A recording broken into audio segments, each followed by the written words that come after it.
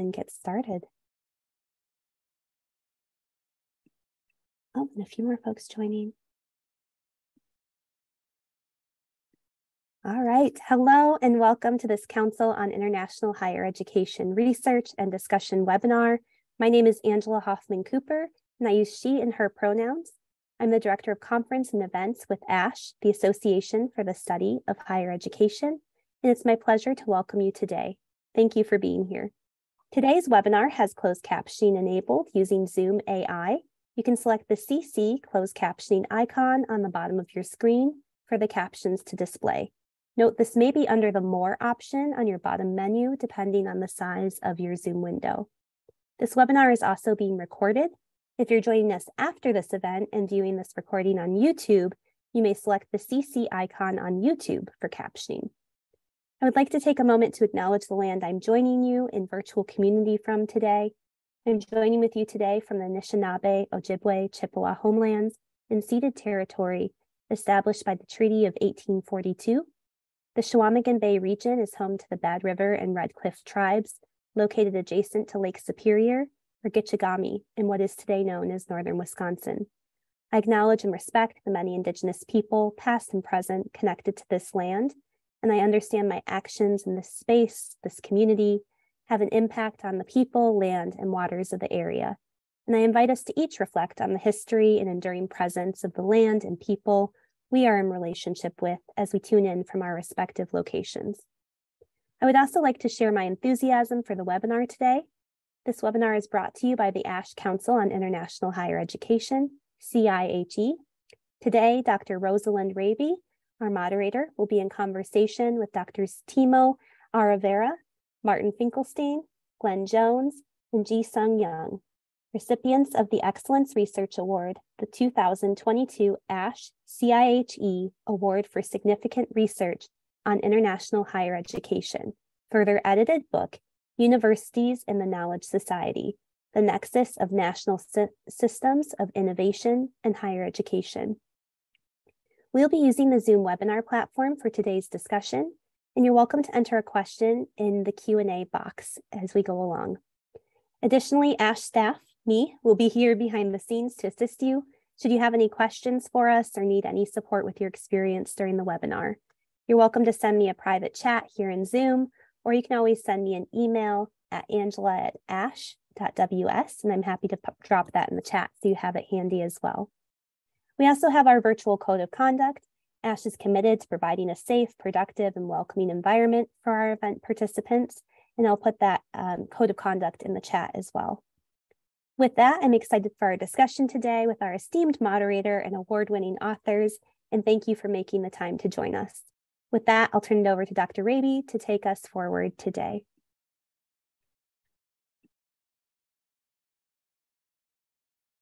Welcome, everybody. I'm very pleased to see um, so many of you have decided to give your time to our special webinar. I am a member at large of the Council for International Educa Higher Education of ASHE, and you can see here our membership. Um, we will be doing receiving nominations for um, open positions, so please watch the announcements that will be forthcoming. Um, we also encourage you to engage with um, our community by joining as a member of ASHE if you have already not become a member. And in the registration, you can indicate your interest in the Council for International Higher Education. Benefits include ASHE pre-conference registration discount, bi-monthly newsletter, networking and social events, webinars such as this one, and connection with international educational researchers globally. Proposals um, for the um, Minneapolis conference will be due April 20 in due in April 2023. So watch the announcements for that as well as the pre-conference um, sponsored by the council. The award that we are celebrating today was recognized as a highly significant research in the field of international higher education.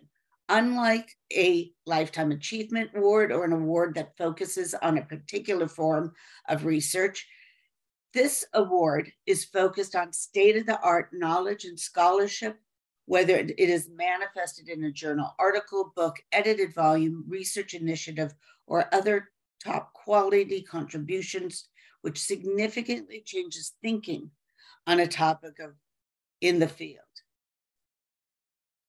The book that we will be celebrating today explores the complex, multifaceted relationships between national research and innovation systems in higher education.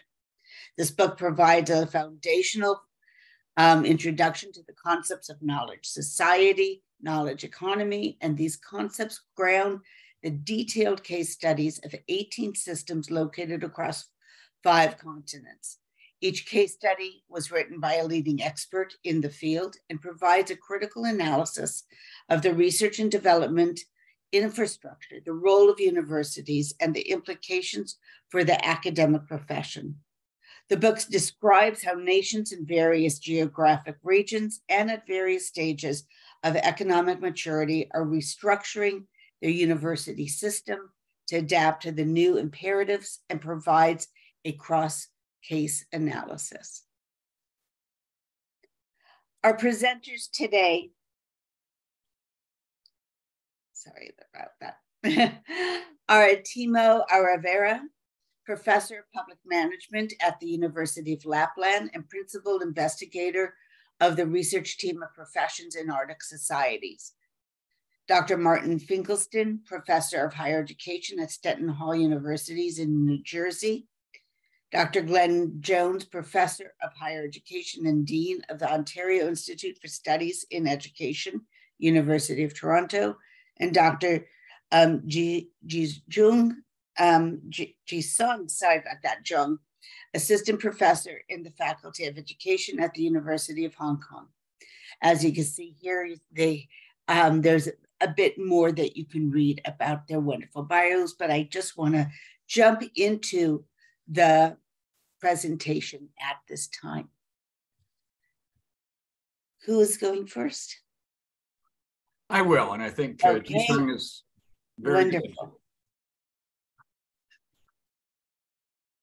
Just waiting for Jisun's screen to come forward. There we are.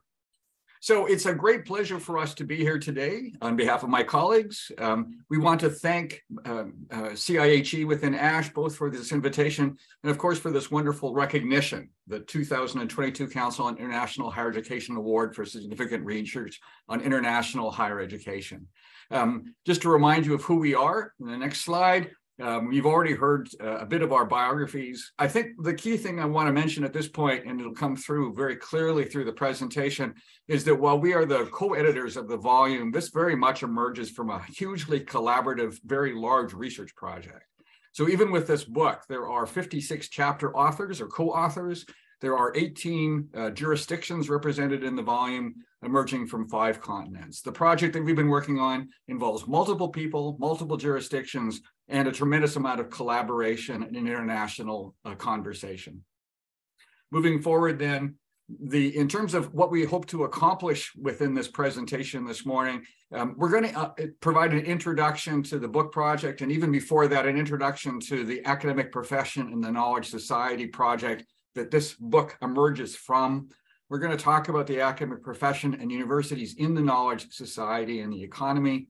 We're going to provide some uh, hints at some of the comparative work that emerged from the volume. And the volume really focuses on trying to understand something about how higher education systems and the academic profession fits within national research and innovation systems around the world, recognizing huge differences in the ways in which both higher education and the academic profession are positioned within these emerging research and innovation systems, and then discuss some of the implications that this project leads to in terms of international comparative higher education. What are some of the future possibilities in terms of studying based on this kind of work? Moving then to the next slide. So this emerges from a project called the Academic Profession in the Knowledge Society Project. Uh, the, the notion of studying the academic profession is far from new. There's been a long history of studying uh, the academic profession, both qualitatively and quantitatively within national systems.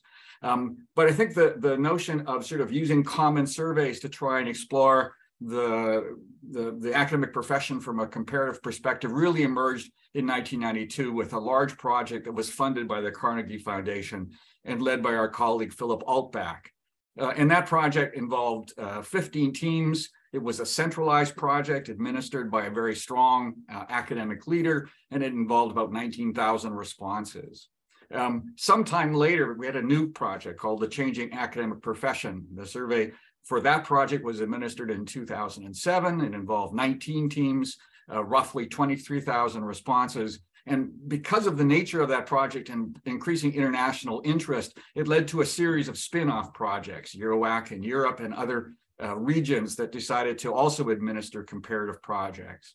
And then we're talking about a third sort of evolution uh, in the phasing of these international comparative questionnaire surveys of the academic profession. And this project is called the Academic Profession, the Knowledge-Based Society.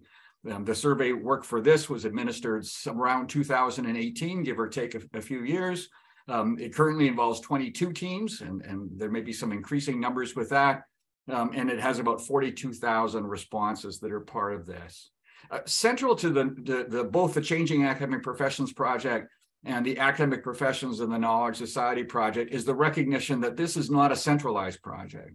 This is not like Carnegie, a project funded by a single body and led by a single kind of administrative team with others uh, working within that kind of uh, consortium. This is very much a series of projects that involves individual national research teams working collectively on a common project. So each national team has essentially found its own funding. It has uh, administered the project, made decisions about translation into local languages, and it has essentially, it's a very decentralized project that requires tremendous uh, elements of coordination. Um, and let me talk a little bit about that with the next slide. So the methodological approach is, is the notion of using a common questionnaire. And this is the same basic approach that has emerged with Carnegie and then with the CAP project and then with this one. So you, you need to create a common uh, questionnaire, uh, and that leads towards the notion of a common data set. Um, but how do you manage a project like this? How do you govern a project of this immensity? Um, and keeping in mind, I think this is probably one of the largest, if not the largest, sort of academic research project in the study of higher education, uh, because it now involves over 20 countries, and in, in, each one of those national teams involves multiple individuals. So you're often including doctoral students, postdocs, junior faculty, and senior faculty on these research teams, and they all have to be coordinated. So each one of the national teams has a leader, and then we have uh, uh, two co-chairs who essentially try and herd the cats and try and facilitate the leadership necessary to move the project forward. And we are amply served by the masterful co-chairs of Timo Aarrevaara, who is on the screen from the University of Lapland, and uh, the other co-chair is Monica Marquina from the University of Buenos Aires in Argentina. And these two individuals have the challenging, uh, very challenging task of trying to bring consensus amongst individuals who are extremely interdisciplinary in their background, and of course, coming from very different countries and very different backgrounds to try and facilitate this conversation leading to this masterful large project. So you have a, a common kind of governance structure and you have uh, a common challenge of trying to essentially administer a, a survey uh, uh, across national systems uh, of the academic profession. And then, of course, the thematic conceptual approach is, is to try and investigate what are the new realities that affect academics' work and perceptions. This is a study about the perceptions of academics, recognizing the challenging times around them. And what are some of the challenging practices and perceptions that academics have? How are they describing the nature of their work? How are they understanding the challenges that are emerging around them? Moving on to the next slide, please. And so how do you ensure the quality of an international project that is so decentralized, but is, and essentially involves so many scholars, different disciplinary backgrounds, different orientations? Well, you have a map and planning phase, and this, this took place over quite a number of years. where you essentially are choosing the participating teams. There has to be a sense that, that the team has the capacity in order to move forward with the project.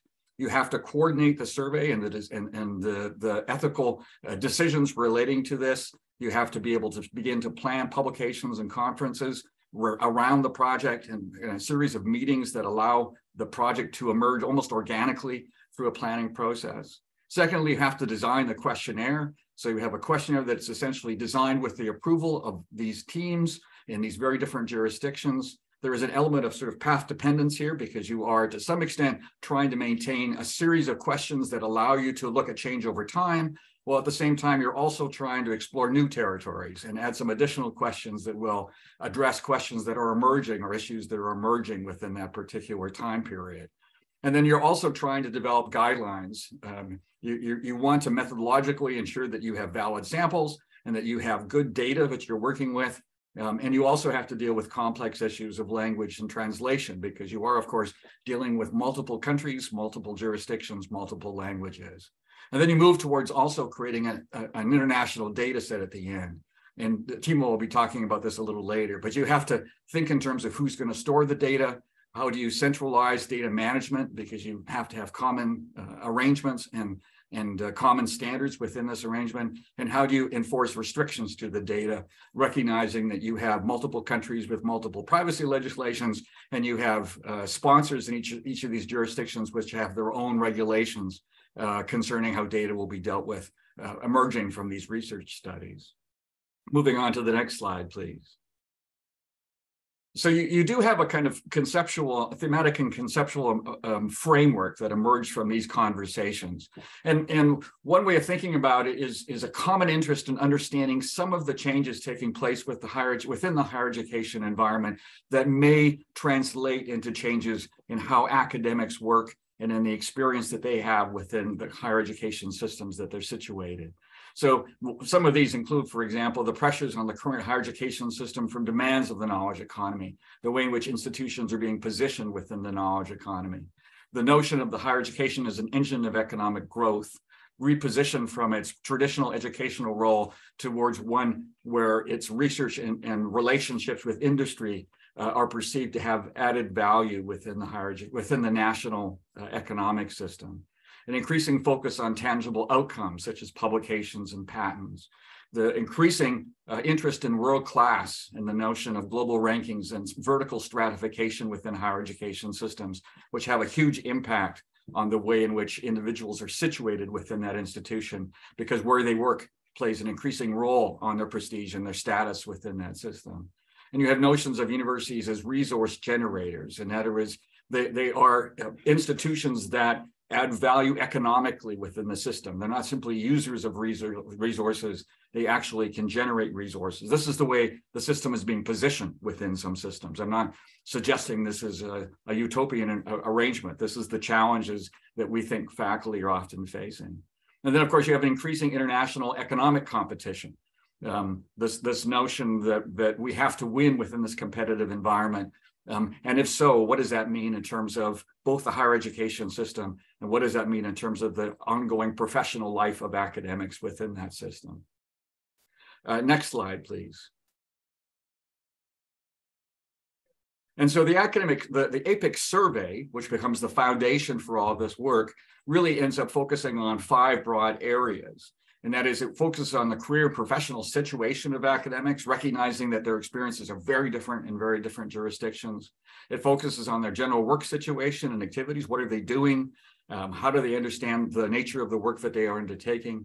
It focuses on their on their teaching and their research and their knowledge exchange. The latter is particularly important in the context of the APIKS project because it's about relationships between faculty and the broader society. It focuses on their perceptions of management and governance. How do they understand power and authority within those jurisdictions? And something about their personal background so that we can relate to personal variables within the configuration. And I'll turn it over to my colleague Timo Aarrevaara for the next phase. Thank you, Glen. Uh, and uh, um, I will say some few words first about the database and then move on of the content of the volume. Uh, the basis of the comparative study is the international database. And Operating principles at the heart of the APIC server are described in this volume. We need this volume to read the data in each higher education system's context. As APIKS consortium, we operate in accordance with the general data protection regulation and responsive regulation around the world, aiming to protect the interest of both the respondents and the teams conducting the surveys. IDP is located in the IT Center for Science and the activities are coordinated by the Finnish APIKS team.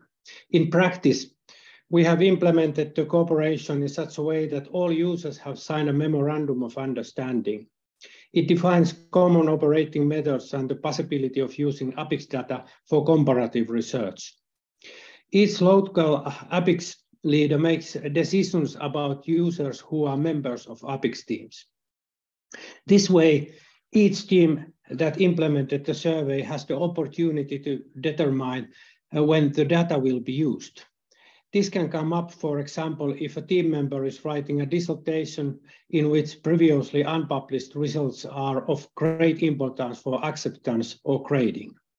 When all teams have accepted these intellectual property rights and ownership principles, it is possible to act according to the defined uh, ethical codes. We also apply the principles that uh, data is findable, accessible, interoperable, and reusable.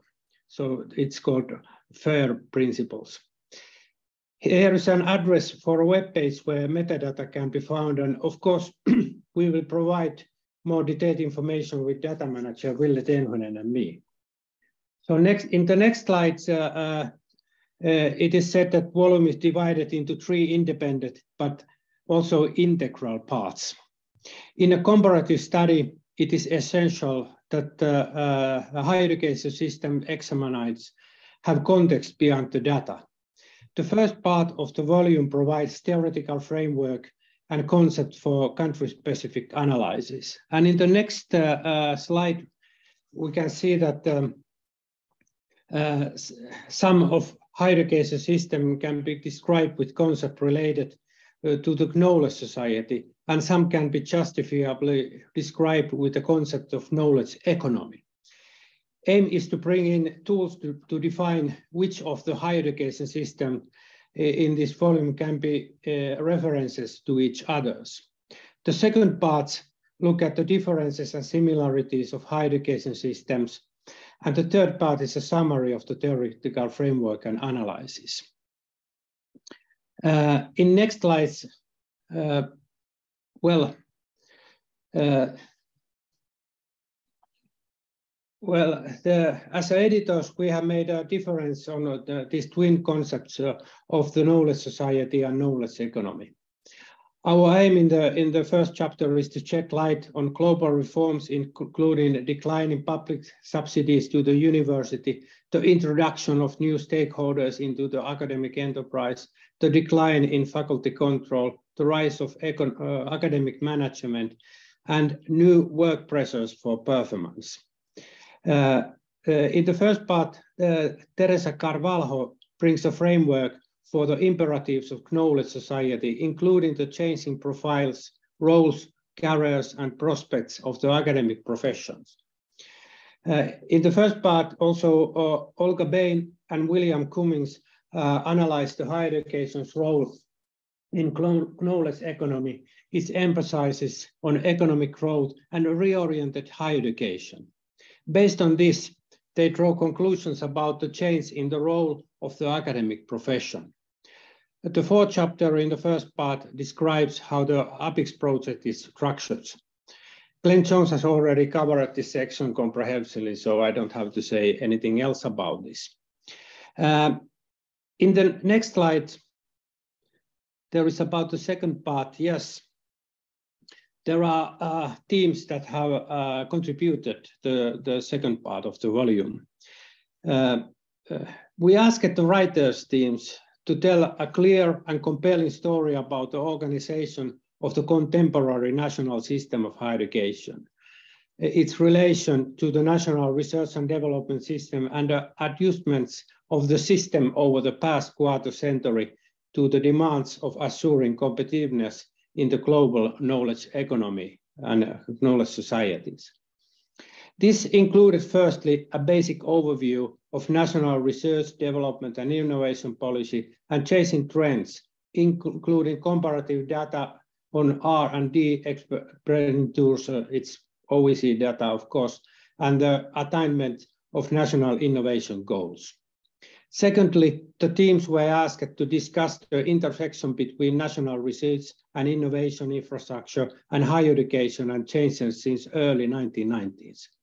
The writers teams also discussed the national higher education system in terms of basic institutional types, distribution of faculty, and work commitments and career trajectories. And they also asked to discuss the new generation of academics and current trends in PhD education and employment, and finally, the evolving academic reward system and trajectory of career progression. The third part is conclusions of all this uh, based on frameworks and analysis. And I will now give floor to Dr. Jisun Jung. Yeah, thank you, Timo. So as Timo mentioned, in part two of the book, with the chapter authors from 18 jurisdictions, they all provided a very detailed and critical analysis of their own systems, like knowledge production system, a research development uh, structure, and the role of the universities and academic professions. So as more and more case studies were collected, the editors were able to make a series of comparisons historically and sociologically and also geographically. And this comparative perspective uh, became a kind of framework for observing similarities and differences across the systems, uh, especially in terms of how the government coordinates the, the research and development systems and how much business and industries are engaged and what's the new roles of the universities and how the academics works are changing. So in part three, we did and this kind of cross uh, case analysis, and we included all this comparative analysis in uh, as a part three findings. For example, first we identified um, the historical past of research production systems across jurisdictions. Uh, some systems, they had already established research and development system since early 20th centuries. Uh, on the other hand, some systems had only started having kind of structured the system after 1990s, for example. And all these um, uh, differences, they were caused by the like historical past. The historical influence was different, uh, like uh, Second World War, for example, or dictatorship uh, history or colonial history or some systems were highly influenced by uh, Soviet Union's fall. So we could make this comparison, how historical influences, uh, historical past affected academic profession and universities' roles in this world. And second, we also focused and uh, made a comparison uh, what's the government's role in coordinating you know, all this research and development uh, structure. Uh, for example, some government, they had a very centralized role. On the other hand, some other governments had a very decentralized roles in uh, coordinating research and development and knowledge production policies. Uh, some systems were also influenced by international or regional associations influences compared to others. Some systems had more uh, division of roles in terms of federal government and st state government. On the other hand, uh, other systems, they didn't have such divisions. Authoritarian regimes, politically unstable regimes, are also different across the systems. If they had a dictatorship history, research development and academic profession development were also differently shaped in their uh, country and also economic situation whether they follow the planned economy historically or market economy, all these things highly affected academic professions' engagement in knowledge uh, production.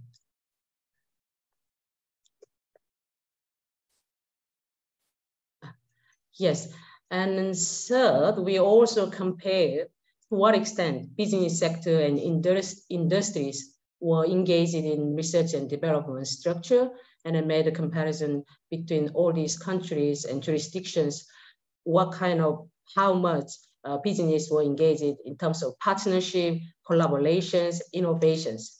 Uh, for example, some systems, uh, business sector, they only have uh, influence in allocating funding, supporting the funding. On the other hand, some systems, they had a strong partnership in coordinating research uh, production, or some other countries, they had uh, more influence in organizing the curriculum and uh, student is a teaching area for the industry influence.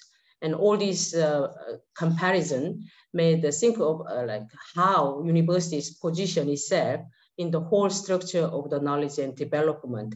So lastly, we focus on universities' roles, uh, how much like they take the leading roles or secondary roles in knowledge production.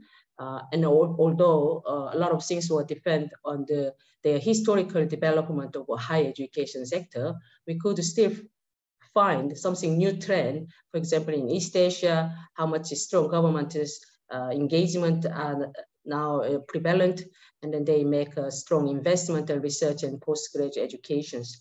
So based on all these findings, we could uh, provide implications uh, for the academic profession study as a kind of foundational book for the whole international comparative project.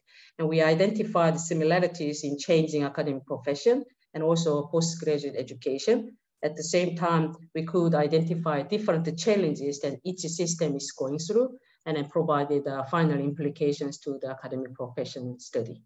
So, uh, Mari? Yes, Jisun. Aha! Here we are. Well, as you can see, as you can see, uh, this uh, this volume uh, has a lot of stuff in it. I mean, there's a lot of it covers it covers a lot of stuff, and um, uh, I, I, think what we what we want to do, we want to be sure to leave you with with a with a sort of a, a, a tangible uh, takeaway and I think uh, from our perspective, the, the tangible takeaway is an approach um, to comparative higher education. I mean, that's really what we're talking about. Um, and historically, um, comparative higher education has been um, sort of case studies of individual countries. That has been the, the, the, the sort of the mode and there's actually been not so much co real comparison. Um, there's been juxtaposition of countries' stories and narratives uh, with each other or against each other. Um, um, that uh, that began to change, and, and there's one um, uh, uh, volume that I think of as a sort of a classic in the field, which is um, Christine Musselin's uh, study of uh, academic markets. Uh, that was done probably about 10 years ago, um, or the research for it was done more like 15 years ago. But what what Christine did was to to look at the um, the job market uh, and how it operated for academics in three very different national uh, settings in Germany, the U.S., and France. And um, in order to do that, what she did was ask herself first, what are the basic elements? You know, what are the basic stru structural elements of an academic labor market uh, upon which we can draw comparisons between those three uh, national settings? And so she identified um, uh, variables, control, what I would call control variables like uh, who makes hiring decisions? Is hiring done by individual institutions? Is it done by disciplinary uh, associations? Is it done by government agencies? Um, is the market, uh, the job market, a relatively open one, or is it fairly closed with, with a series of restricted lanes? And um, that allowed her uh, to put together a volume that genuinely looked at how academic uh, careers unfold in very different ways um, under very different uh, labor market conditions in different settings and um, allow us to begin to, to think through and think about how uh, some of these structural factors affect uh, academic work and academic uh, careers. Now, Glen Jones and, and I, um, uh, maybe uh, five or 10 years ago, uh, tried to build a little bit on Christine's work and, and, and did a piece, uh, uh, an edited volume called uh, Professional, Professorial, Professorial Pathways. And, and in, in that volume, we, we, looked at academic, we, we, we attempted to sort of um, build on Christine's method and try to identify uh, what are the sort of the building blocks of academic careers um, and, and, and could we uh, assemble a group of scholars to look um, uh, not just generally at individual national narratives, but look at how those building blocks uh, are, are, structured and play out in different national settings.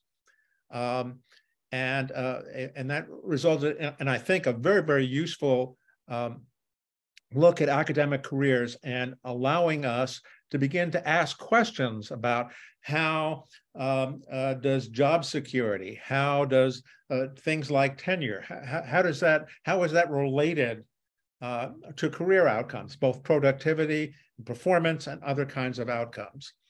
Uh, and now, uh, and I think we need to move to the to the last slide. Is it the last slide or the next slide? How do I do that? Ah, that's how I do that. and, and what this slide includes is a number of, uh, of pieces that have come out more generally of the APIKS uh, project uh, that I think uh, uh, have as their basic bedrock principle uh, the idea that we are asking uh, uh, national study teams to generate um, similar kinds of data um, on their systems and uh, data that is structurally sufficiently significant that allows us to make comparisons between those structural elements across systems. Next. So, for example, um, in the current volume that that that uh, we're celebrating today, uh, we asked every uh, country team in in producing these case studies. Um, we needed to include basic data on per capita income um, uh, for the country. So, are we dealing with with rich countries, developing countries? Uh, what about the per capita investment in research and development? uh, including big uh, recent changes in that. Um, are universities the uh, uh, primary driver of research and development in the country, or really quite secondary to the research and development uh, system? Um, uh, are we talking about a binary higher education system um, or a identifiable research university system? what percent of the age grade uh, in, in, in, the, in the country is enrolled in post-secondary education? Is it a mass system? Is it, is it, is it a universal system? Is it, is it a, uh, an, elite system? Um, so these are some of the uh, uh, sort of key control variables. Once we begin to, to uh, uh, identify these metrics, it becomes possible to ask a series of questions uh, that one couldn't ask before. And those questions include um, uh, what, um, what, what, what seems to happen in, um, uh, in binary systems or systems that are characterized um, uh, by a strong or a strong emphasis on a research university sector. Um, and how do those systems, are there patterns in how those systems respond uh, as opposed to systems that don't have a research university sector or uh, where uh, research doesn't drive the higher education system? Um, so that's th those are the kinds of questions that that these kinds of analyses allow us to ask. And it seems to me that the, the great you know, so overarching contribution of, of a volume of a project such as this and a volume such as this is that it pushes us, it pushes us to think about uh, these common metrics and sort of the structural analysis of higher education systems and allowing us, I think, to uh, to study higher education systems in a truly comparative way. Um, um, so uh, I'm very excited about it, and I hope you are too. And I hope you will take this away, that we will all march forward uh, from this uh, from this webinar uh, to begin uh, thinking about our comparative work in this way.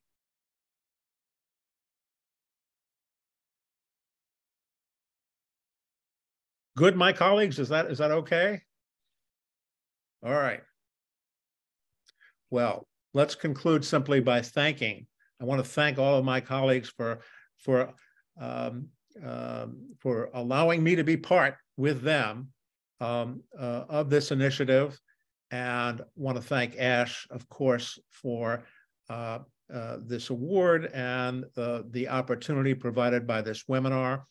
And of course, we want to think about this is such a collaborative project. I mean, the four of us are up here, but as as, as Glen and Timo made made clear, this is this is the these are the results of work of of maybe 80 people and 20, you know, 80 scholars in 20 countries, and um, um, the, this this um, uh, edited volume that we put together is really uh, rests on the shoulders of all of us.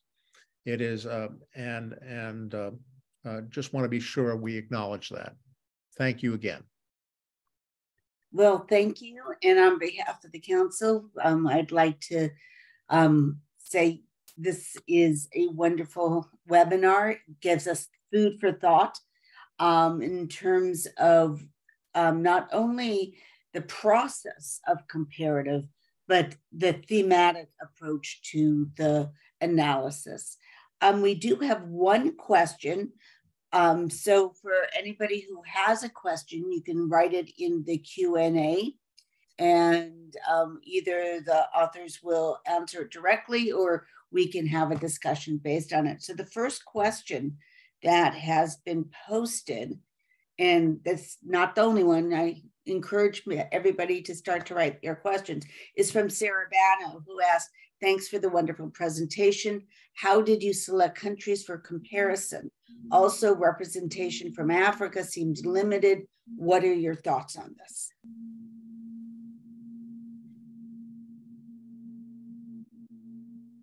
I see. I see. Timo has. Maybe I'll, I'll add something, and Timo can can can jump in because Timo, of course, has this wonderful leadership uh, and challenging uh, leadership position within the arrangement. I mean, I think in the best possible circumstances, APIKS project would include every jurisdiction on Earth, um, um, but it's a highly decentralized project, and so the for it to work in the way in which it's been organized, we essentially require both uh, expertise uh, and willingness on the part of, of a nation to participate in this. Perhaps even more importantly, it requires that uh, jurisdiction and that research team to find funding to participate in this. And those are challenging in some jurisdictions, both because of the lack of expertise. There are countries where there's relatively little scholarship in the field of higher education, um, but also because of the funding issue. And so we've had uh, we've had teams uh, even in in um, in sort of what you would consider major Western countries withdraw because of a lack of funding from those jurisdictions. They could not access the research funding they want. Um, so, so I think the notion is that in a decentralized approach like this, it's not so much a matter of, of, of selecting countries as it is in terms of communicating with those who might be interested and their willingness to participate, but almost more importantly, their ability to access the resources to administer this in their own country, in their own language, and in their own jurisdiction. Uh, Timo, did you want to add to, to that? Uh, thank you. Uh, it's uh, uh, uh, you you you raised the most important arguments I'd just like to add that uh, the international database includes 22 higher education systems that have participated in previous one ones, uh, uh, uh and they also include higher education systems that have met conditions of the consortium. So it is therefore based on voluntariness and not on systematic selection. Uh, because like Glen said, uh, it is not centralized system. In the presentation, I also referred to the fact that the teams uh, should identify the reference countries with which the comparison is well grounded. And I think this volume in hand now provides uh, opportunities for that. There was uh, also a question about uh, uh, African countries because only Uganda is involved. Uh, the South African team coordinates the uh, African countries and they aim to carry out uh, a joint survey, but uh, unfortunately this hasn't taken place yet. But because this is a global survey, of course we we cooperate and, and, and give all our, our tools for this purpose, and and uh, we we change views all the time, and I'm I'm pretty optimistic that this will take place.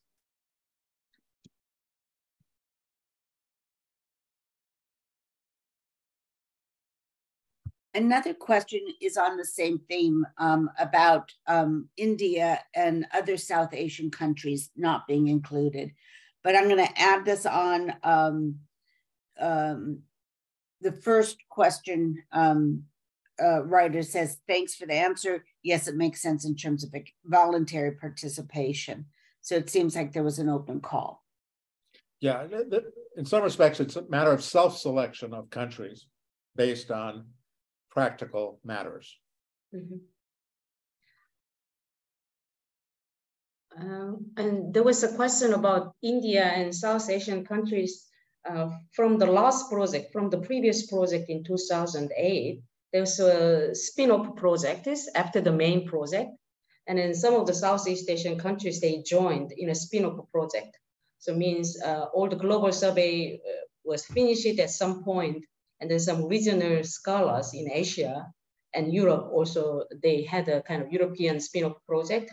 And Asian countries, they also had a spin-off project including some of Southeast, and, Southeast Asian countries. So hopefully, uh, after this APIKS uh, survey collection, and then they might have a kind of a regional uh, follow-up studies.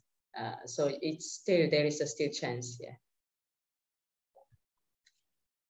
Well, thank you. Um, please uh, invite everybody to submit their questions. Um, I will ask a question while we're waiting for people to collect their thoughts. Um, I was interested in your themes. Did you develop the themes before you analyzed the data? Um, I, I got the sense that that might be true. And either way, was before or after? And can you comment on um, that form of development?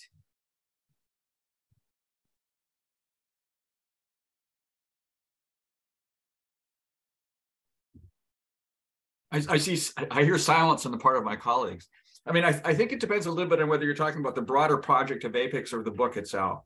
So for the broader project of APIKS, I, I would argue that the themes that uh, influence sort of new questions and new territories emerged collaboratively uh, within the conversations of the leadership of the teams. Uh, so that I think that that uh, Timo and Monica and others essentially brought people together, and there was a conversation about what what are the new themes and how how should they emerge in the concept of if, if the question is about the case studies that are in the book, I mean, I, I think what what what how this works is essentially there were common themes that emerged part of the APIKS project, and the editorial team essentially said we need to have some common elements here. We want to have a national story, but we do need to have some common elements, including the common use of, of certain data sets from OECD and others. Uh, so, so the, the case studies are driven by a kind of common agenda that I think emerged from a broader conversation. And so um, you're right. In other words, there was a, a pre-calculation of issues that we thought should be addressed in the various national chapters, but also I think the flexibility for individuals to tell the national story in the way that those who are experts in that particular country um, thought was best. So it's a combination of things. And then, of course, by the time we received these chapters, the challenge was how to identify what may be common themes, some of which we anticipated, some of which we did not. Uh, and those largely emerged, I think, from a kind of cross case analysis of the 18 national case studies. Yeah. I, I think Glen has summarized it well. Yeah, I, I think too, and the value of this book uh, is also there that um, that uh, uh, if we only have a data in hand, so we lose the context. But uh, with the book in hand, we also have a context for these uh, countries, and we understand uh, better that wh why there are so many differences between countries and, and, and the trends between them.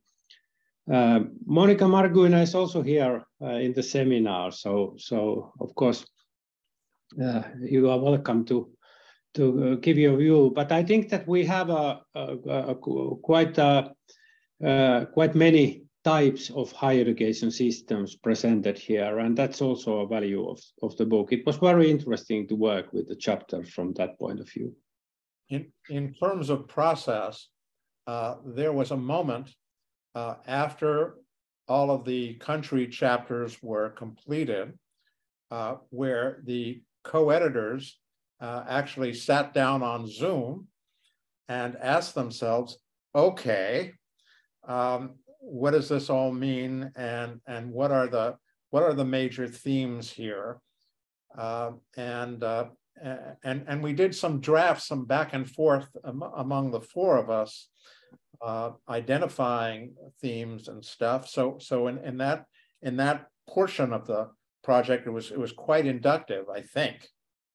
Um, but again, obviously informed by the by the variables that we started with, the basic structural variables we started with, which were largely OECD data. Well, thank you um, that I found that to be interesting. Um, Alana Pop is saying thank you for the presentation and hi to Dr. Finkelstein. And um, Monica Marquina says hello. Um, just providing context. Um, and again, if you have questions, uh, we do have um, a few minutes left to the session um, please um, put them into the Q&A. Um, you mentioned at the beginning change over time. So um, was this part of the design that you wanted to capture or did you realize that some of the data bringing in was referencing the time aspect? Um, and then I would ask, as a follow up to that, um, what were the most significant changes over time that you found? And anybody can answer it. Well, in, in, in when the when the individuals who were involved in the uh, CAP project in 2007-08, uh, which was sort of the intermediate project we displayed on that on that uh, uh, timeline. Uh, the, the CAP project deliberately sought to ask some of the same questions that Carnegie and Altbach had asked in 1992, mm-hmm. in 2007, 15 years later. And then uh, in putting together the APIKS survey, and, and, and Timo, correct me if, if I'm wrong, uh, there was a, a, a, general desire where, where appropriate and relevant to take some of those same questions, preferably asked in the same language. Um, uh, once again, uh, in 2017, uh, to allow us to, to have these sort of 15 year um, uh, time series. So we, we did self consciously, at least in part, uh, try to do that. Although we were obviously the samples were very different. So this was no, in no way sort of a panel uh, survey. In, answer to your second question about the greatest findings, I think the answer is we're still learning from it. Um, I think it's important to recognize that this is actually the, the beginning and the sort of foundational book for the academic profession, the Knowledge Society project. So, so the design is really how do Um, one one could argue that the design of the book is really about about understanding national contexts, um, and and and we actually don't use much of the data from the APIKS project in the volume at all. But following this volume, we're now seeing the release of uh, papers and academic journal articles, but most importantly, a series of other books emerging in the same book series that are thematic. So the first that emerged was on teaching and research in the academy, um, and essentially does comparative work amongst the, those who participate in the international database uh, to look at these issues, um, uh, these in, in key themes of teaching and research and the balance between teaching and research uh, within the, the, these, these various jurisdictions. The most recent book, which is about to come out, is on internationalization in the academic profession. So we have these thematic volumes, again, with multiple authors, multiple collaborative initiatives um, that are exploring key themes associated with the research study along the way. So this book is the first of the project, and we'll see a whole series of volumes come out over the next few years, which attempt to answer your question. What are some of the key issues and themes in comparative terms emerging from this analysis of a common questionnaire amongst more than 20 countries? And it's, it's just a huge body of research that we're just beginning, I think, to work our way through one of the really, really interesting um, facts here is that is the timing of the survey was pre-COVID. And mm. uh, as we're all aware, higher education has changed in profound ways in response uh, to the pandemic. And, and in fact, T Timo can address this because I, I think I think uh, there is some movement, uh, either Timo or Monica, uh, to to do a sort of a, a post-COVID sort of quick quick mm-hmm. update uh, uh, uh, on this. Um, um, and and and one other thing, just a, just a quick a quick shout out, since you mentioned Glen the internationalization volume, uh, a quick shout out to our Turkish colleagues who have who have undergone uh, a, sort of a devastating experience. Uh, one of my Turkish colleagues explained it to me by saying uh, this is just like 9-11 for Americans. Uh, so, so, so please, uh, uh, uh, we're all thinking about our Turkish colleagues and Absolutely. Syrian colleagues, of course. Well, this was wonderful, um, a wonderful way to chat um, for um, learning about the project, learning about what's coming up in the future in terms of ch um, change over time and comparative um, uh, discourse. And I want to thank each one of you, um, Dr. Oh, Dr. Zarava, Finkelstein, Jung, and um, yeah, I'm looking at my screen, Jones.